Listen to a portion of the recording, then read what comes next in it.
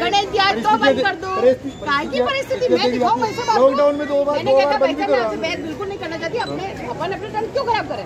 जो सच्चाई है बोल रही हूँ। सुनो ना मैं वो मम्मी जी की पुरानी गोल्ड ज्वेलरी नहीं पहनना चाहती। क्यों ना हम तनिष्क ज्वेलर्स चले जहाँ हमें पुरानी 22 कैरेट या ज़्यादा की गोल्ड ज्वेलरी पर मिलेगी। 100% exchange value visit Tanishq jewellers at India motor circle Ajmer. T N C applied भाई साहब पचास साल पहले की पुरानी परंपरा जो मेरे परिवार की है हम लोग व्यापारी आदमी हैं और हमारा यही समय रहता है कि हम लोग सभी रात को 9 से 10 बजे बाद में ही शोरूम बढ़ाकर दुकान बढ़ाकर चाहे इंडस्ट्री वाला आदमी हो उद्योगपति हो व्यापारी हो एक दुकानदार रात के टाइम भी अपना शोरूम बढ़ाकर अपना काम से फ्री होकर और नौ बजे बाद नारियल छोड़ने यहाँ पर आता है। पचास साल से आस्था का नारियल जो आज पहली दफ़ा है या प्रशासन की गलती है या किसकी गलती है कौन सी गाइडलाइन मेरे समझ में नहीं आ रही है सभी व्यक्ति- सारी वर्गों के, सारे त्यौहार मनाए जा रहे हैं।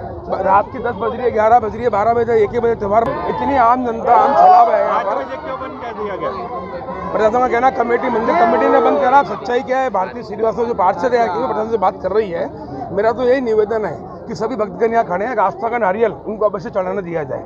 ठीक है मेला नहीं भर रहा है, कोई बात नहीं है। पब्लिक है गाइडलाइन की पालना कर रही है मास्क लगाया हुआ है। वे अपने हिसाब से आ जाए तुरंत दर्शन कर तुरंत निकल जाए यही मेरी गुजारिश है प्रशासन से और क्षेत्रीय पार्षद से। राकेश जिडवानी देखिए भैया, ये तेजा जी का मंदिर है, जो बहुत प्राचीन मंदिर है उचरी गेट पर वार्ड नंबर 16 में आता है। यहाँ पर पब्लिक आज इतनी खड़ी थी और आप देख रहे हैं, हर वर्ष की बात ही होता है। जब कोरोना बहुत तेज़ी से था, तब हमने बंद करवाया था, प्रशासन ने तो पब्लिक ने मान लिया था।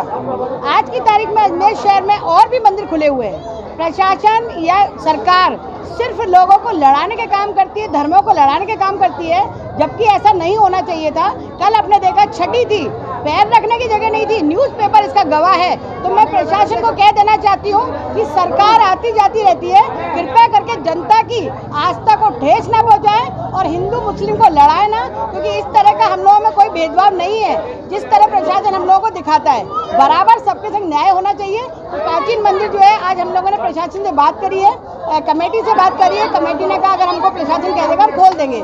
प्रशासन ने बोल दिया तो आज पब्लिक में बहुत ही उत्साह है कि आज हम जिस तरह दर्शन करते हैं सभी लोग व्यवस्था बनाकर यहाँ पर दर्शन के लिए बेचैन खड़े थे आज मंदिर खुल गया। वापस से आठ बजे बाद यहाँ पर दर्शन हो गया। तो हिंदू धर्म पे क्यों लागू होता है? जैसे अभी गणेश क्षेत्र रोक लगा देखिए ये दुर्भाग्य है और मैं आप हर हिंदू भाई को भी कह देना चाहती हूँ कि मेरे मुसलमान भाई और हिंदू भाई जब हम एक रहते हैं तो कम से कम आप ये देखिए कि प्रशासन या सरकार हमको लड़ाती है तो हमें नहीं लड़ना चाहिए हमें एक रहना चाहिए एक दूसरे के लिए समर्पित रहना चाहिए। जिस प्रकार हमारे ख्वाजा साहब की दरगाह में भीड़ आती है, उसी प्रकार हिंदुओं के ब्रह्मा जी मंदिर, चाहे कोई भी मंदिर हो, उसमें भी उसी प्रकार का होना चाहिए, ना कि दुबाद होनी चाहिए। तो अगर प्रशासन ऐसा करता है, सरकार ऐसा करती है तो उसका खामियाजा जनता भुगता देती है और आगे भी भुगता देगी, क्योंकि ये देवता है किसी के बस में नहीं रहते।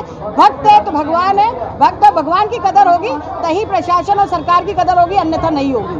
भारती श्रीवास्तव, महिला मोर्चा, भाजपा अध्यक्ष। और वार्ड नंबर 16 से पार्षद ये दूसरी गेट पे जो तेजाजी मंदिर है उसमें प्रशा ये प्रशासन से परमिशन मांगने आए थे मेले की लेकिन उन प्रशासन ने ये कहा कि सरकारी गाइडलाइन जो आई है उसी के हिसाब से इनको पालना करनी है। और इसी सरकारी गाइडलाइन की पालना में अ, मेला प- मेला जो कमेटी है तेजा मंदिर वाली जो कमेटी है इन्होंने साढ़े आठ बजे आरती कराई और नौ बजे करीब इन्होंने मंदिर के पट बंद कर दिए। इस पर लोगों ने कहा कि नहीं, हमारे को दर्शन करने हैं। तो इसमें मेला प्रशासन से कमेटी से इनसे हमारी जो बातचीत हुई है, उसके अनुसार उन्होंने कहा कि सर, एक बार वापस सबको जो उपस्थित लोग हैं, उनको दर्शन कराया जाएगा और दर्शन करा के गाइडलाइन की पालना करते हुए दर्शन करा के इनको निकाल दिया जाएगा।